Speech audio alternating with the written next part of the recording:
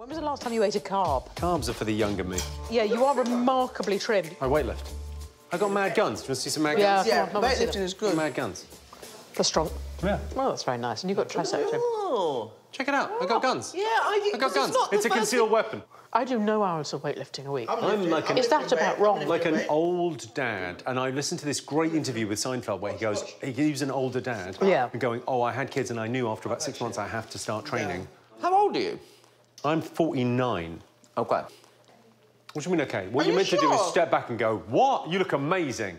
Motherfucker, you know the rules. Jimmy, are you Show sure you're 49? Correct answer. Cool, look at Julie Love. She's been in the game two minutes. She fucking gets it, Nish. Get with the program. Oh my god. So do you count as you count as old dad? We're geriatric parents, is what we are. Yeah, sure. Oh, Anything really? over 35 is geriatric parents, and they don't mind. They don't mind using the fucking term, by the way.